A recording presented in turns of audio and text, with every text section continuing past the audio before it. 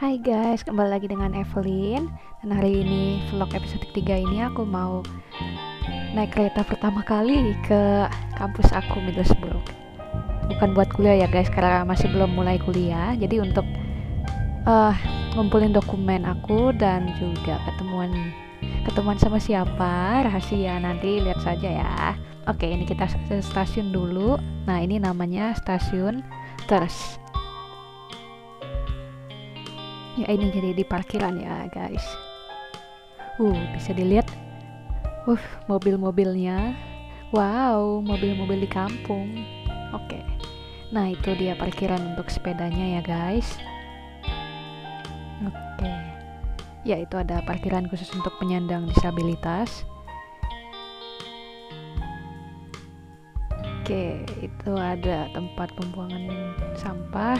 Nah ini lihat mobilnya berjajar oke yuk kita naik ke atas. Ya jadi ini. Kalau mau ke peronnya itu kita harus naik tangga dulu guys.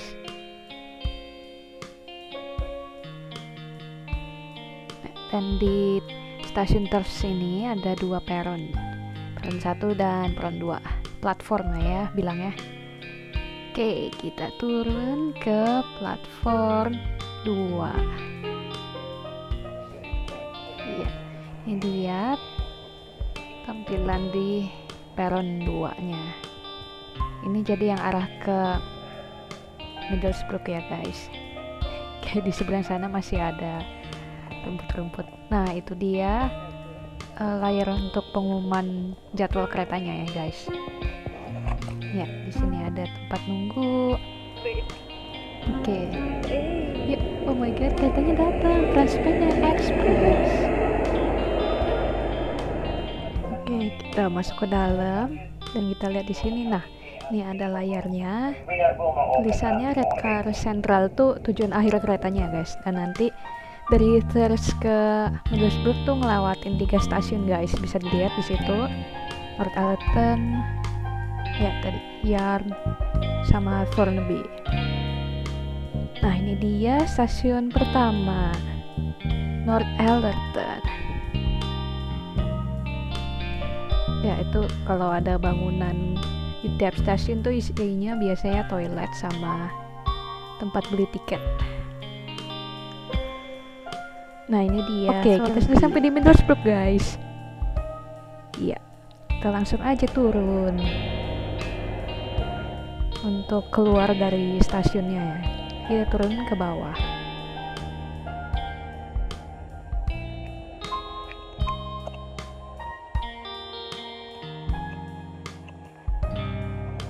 Oke, bisa lihat di sini guys, bangunan di stasiunnya kelihatan tua banget ya guys.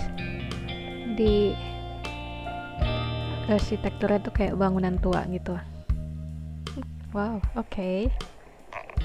Iya, yeah, street fashion nah jadi ini sudah masuk musim gugur ya guys. Oke setelah ini kita akan jalan ke kampus aku. Ya ini nih Tunggaleri Seni Mima di sebelah kanan dan ini taman namanya Center Square ya Center Square Park. Dan di sana ada gedung kantor. Ya dan ini di tengah-tengahnya ada danau. Ya ini danau namanya Wilkinson atau Wilkinson Lake. Ya kalau kalian masih ingat di vlog aku episode 2 angsa ini miliknya royal family guys. Jadi tidak boleh diculik atau dibawa pulang baik angsa maupun bebeknya. Oke lanjut. Kita akan jalan ke komplek kampus aku guys. Nah ya ini melewati jalan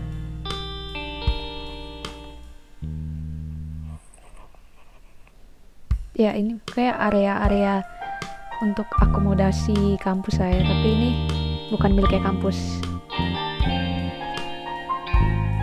Jadi kalau kampus kan asrama gitu guys. Nah ini ada tulisannya Garland House. Oke sebentar lagi kita akan sampai ke kampus aku guys. Ya ini dia Cisat University. Oke, dan ini di bagian tengah-tengahnya seperti ini ya guys. Sebenarnya kontaknya gede banget dan bangunannya ada banyak. Oke, kita sekarang kan menuju ke cafe namanya The Dickens. Oke, ini kita jalan dari tempat yang tadi tengah-tengah kampus tuh.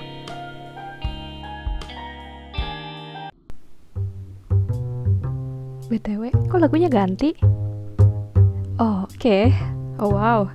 Ini dia interior di cafe di kampus aku. Ini hanya salah satu cafe aja, guys. Duh, ada bibir lagi di temboknya.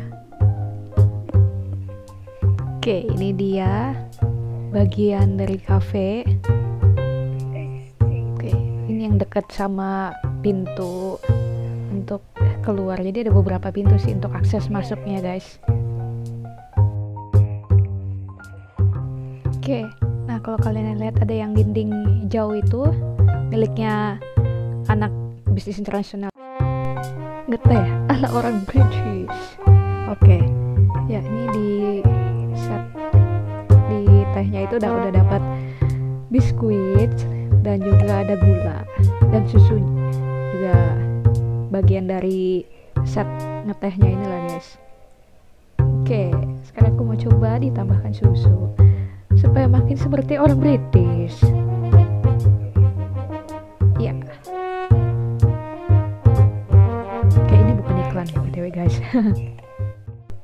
Oke, yang sebelah kiri itu perpustakaan, sebelah kanan the curve ya, bangunan serbaguna gitu isinya guys. Oh iya, ada btw aku lagi nungguin teman aku yang belum datang. Oke, teman dari Indonesia guys, satu kampus sama aku. Jadi aku ngajakin mereka hangout hari ini karena belum mulai kuliah. Oke. Wah, tuh geng. ya itu tadi kan sebelah kanan dan sebelah kiri the curve.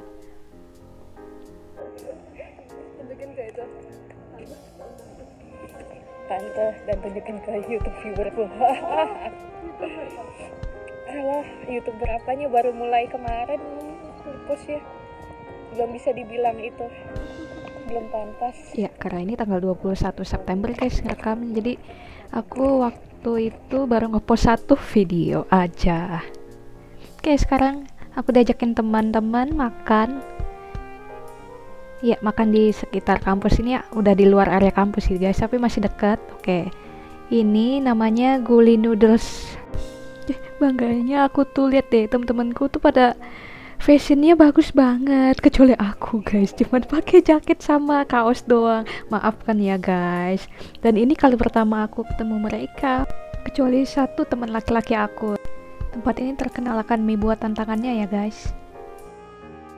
Oke, terasa hari sudah makin sore, oke, dan kita pulang. Dan ini kita ngelewatin town center Middlesbrough ya guys. Ini jadi kita jalan kaki menuju ke stasiun ya. Jadi ini aku sudah bersama om dan tante lagi. Oh, ada mesin ATM ya. Oke, jadi ini kita nyebrang ke jalan yang menuju stasiun. Kita ngelewatin bawah jembatan ya, bawah flyover.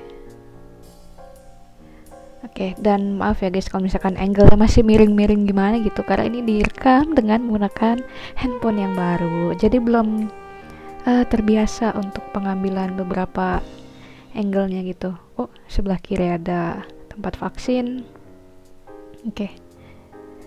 Nah, yaitu bangunan coklat yang di sebelah kanan itu adalah stasiunnya ya, guys stasiun Middlesbrough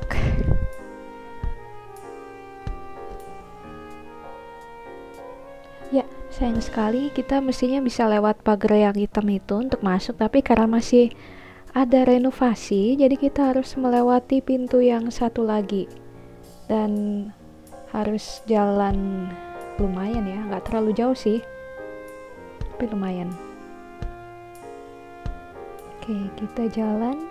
Ini kita akan lewati bawah jembatan itu ya guys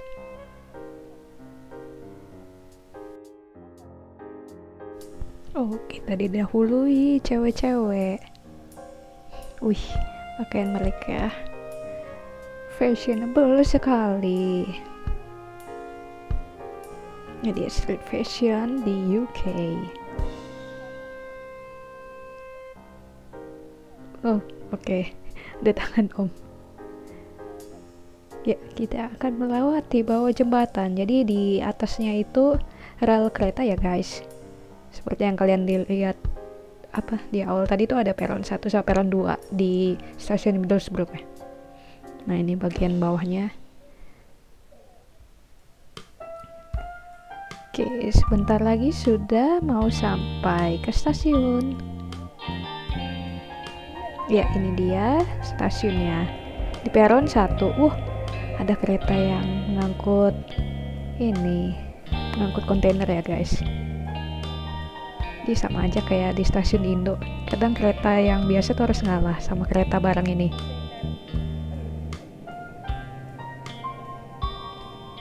Panjang juga ya keretanya.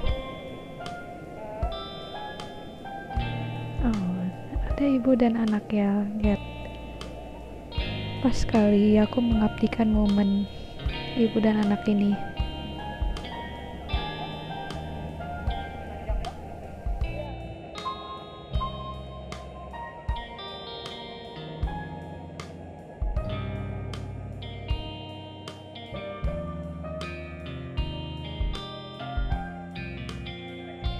Oke, aku diam beberapa detik supaya kalian bisa menikmati denger video sama musik aja ya.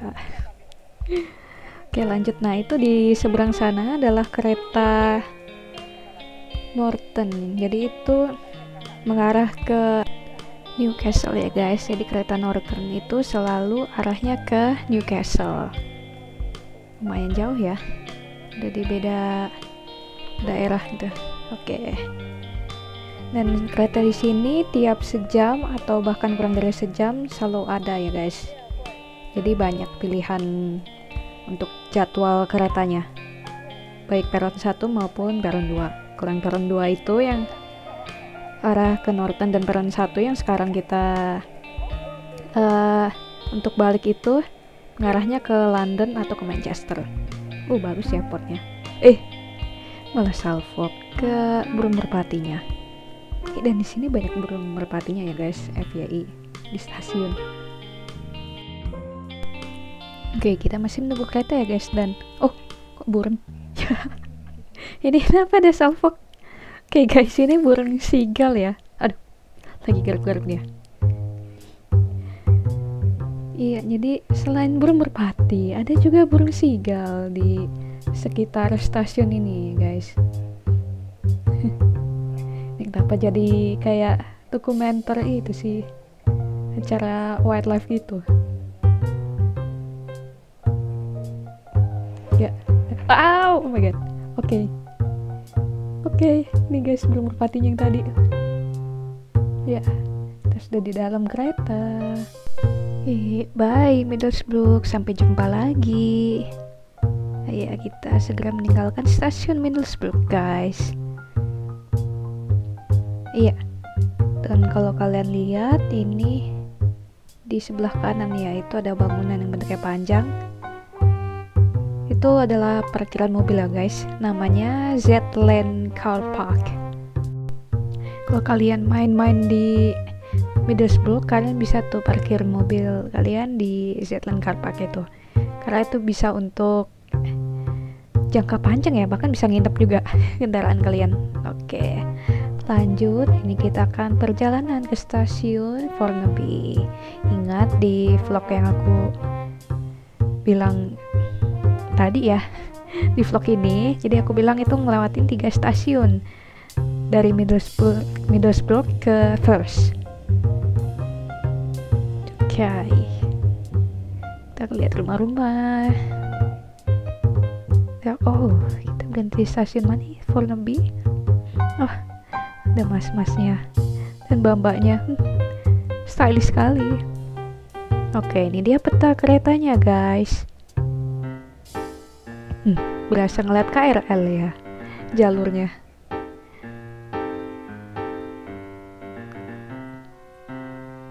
Oke, ini kita sudah mau sampai di stasiun yang ketiga ya sebelum terus menangannya ladang semua ya guys maklum namanya di kampung. Oke kita sudah sampai di first station. Ya kalau kalian masih ingat tadi kita awalnya di peron 2 ya dan sekarang di peron 1 atau platform 1 oke ya dan bangunan depan itu adalah isinya toilet dan juga tempat untuk membeli karcis ya. Oke kalau karcis itu bisa dibeli offline dan online kalau misalnya beli offline ya di tempat ini tiket tadi oke sekarang kita akan menuju parkiran mobil guys ayo ayo ayo kita naik yuk yuk aduh kayaknya angle ngerekamnya agak gimana gitu ya Oke, baik. Kita menuju parkiran mobil. Ya. Kita turun tangga lagi. Nggak apa-apa, olahraga, guys. Banyak naik turun tangga. Oke, bisa dilihat. Eh, eh mobilnya masih banyak ya yang diparkir. Mungkin ini juga banyak mobil yang parkirnya lama ya, guys. Karena ditinggal sama pemiliknya gitu, pergi ke mana Oke. Ya. Ya, mobilnya masih berjejer ya, guys. Masih sama seperti dari pagi itu. Kayak masih lumayan penuh ya, rame. Oh wow, mobil mini, mobil Mercedes. Oke, okay, mobil kampung ya. kampung Yorkshire. Oke, okay. Mercedes, Ford Subaru. Lah, kenapa malah jadi dagang mobil gini? Thank you for watching. This is Intuitive. Jangan lupa like, subscribe, dan komen. Nantikan vlog selanjutnya. Bye.